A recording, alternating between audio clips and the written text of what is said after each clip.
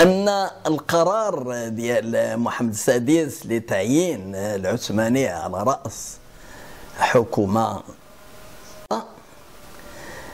آه، هو واحد القرار حكيم وفيه بعد النظر كبير بزاف لأن سيدنا سيدنا نصر الله محمد السادس قرر تعيين رجل رجل بأخلاق عالية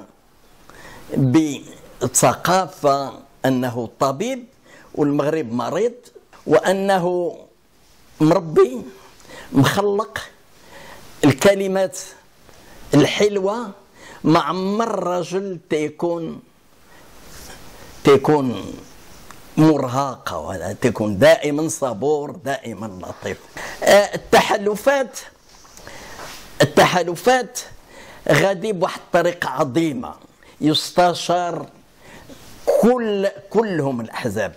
لولا لولا كان يستشار حتى مع النقابيين النقابات.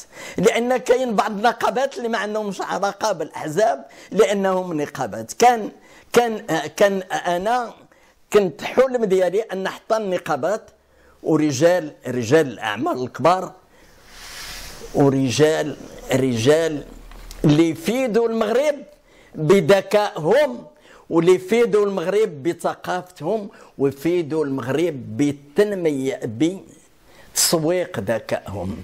ما يبقاش محصور في الأحزاب لأن الأحزاب عندهم رجالات اللي اللي أغلبيتهم ما عندهمش كفاءات باش يتوزروا.